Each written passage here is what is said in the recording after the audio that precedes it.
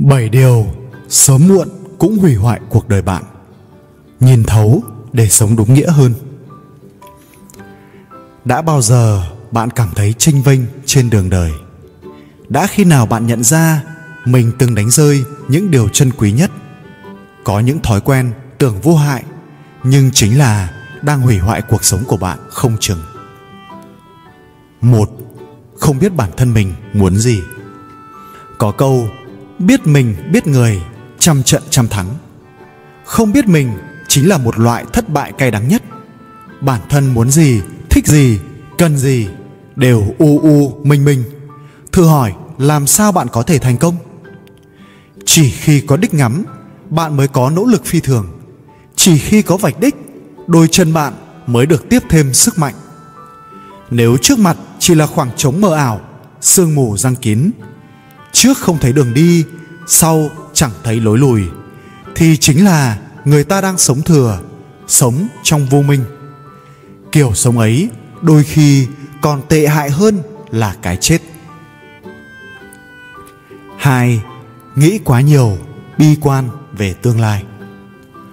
Đó lại là một cực đoan khác trái ngược hẳn với điều số một. Người hay lo nghĩ sẽ tích thành tâm bệnh, luôn chần chừ không quyết đoán đối diện với vấn đề. Cứ mãi chờ đợi vô vọng một điều gì đó. Khi người khác đang tiến lên về phía trước, thì họ vẫn tần ngần, ngồi nghỉ giữa con đường, mơ tưởng những thứ hão huyền nhưng không bao giờ ra tay hành động. Họ thấy đoạn đường phía trước thật xa nhưng không đủ dũng khí bước đi. Đó hoàn toàn là một sự thất bại. Ba không kiên trì theo đuổi một mục tiêu.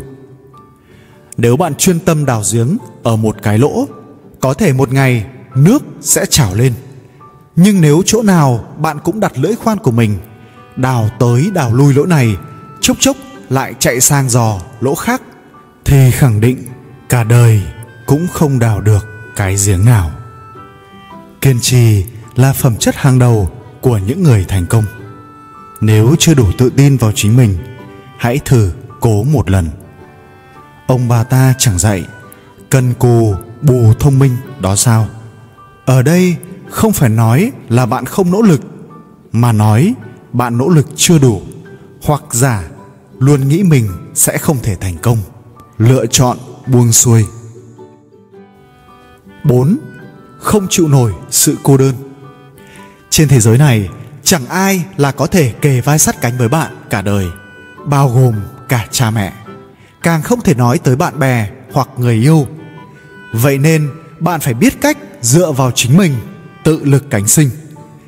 Chỉ khi làm được điều đó, Người ta mới dần dần trưởng thành trong gian khổ. Bước đi, những bước vững chắc trong đời.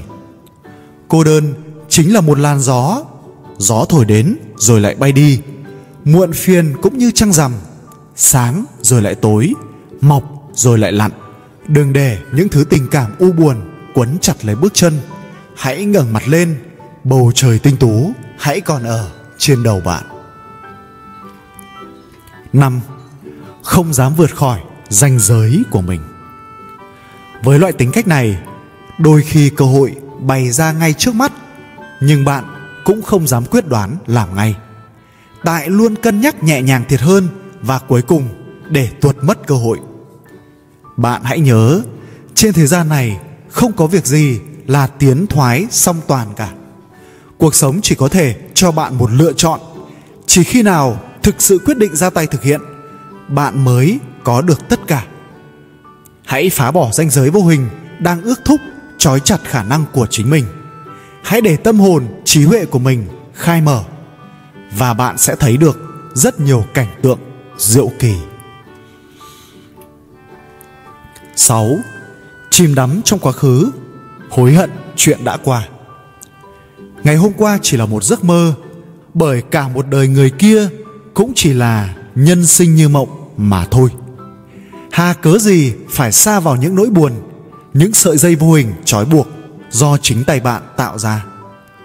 Chuyện đã qua cũng đã qua, ngày chưa tới, hãy còn ở phía trước hối hận chỉ làm lãng phí thời gian của bạn tăng thêm đau khổ hủy hoại tâm can bạn mà thôi 7.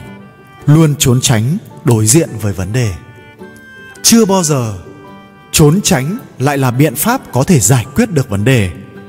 Đối diện với sự thực, giải quyết nó, chấp nhận những đau đớn có thể xảy đến mới là cách lựa chọn đúng đắn nhất. Đường đi vốn không khó, chỉ tại người ta cảm thấy sợ mà thôi. Bất hạnh cũng không đáng sợ, chỉ vì người ta không nhìn thấy được đủ những hạnh phúc xung quanh. Cô đơn cũng chẳng có gì to tát chỉ vì người ta quên rằng mình còn có rất nhiều người đáng trân quý ở bên. Cuộc đời là tự mình quyết định con đường cũng là tự mình bước đi.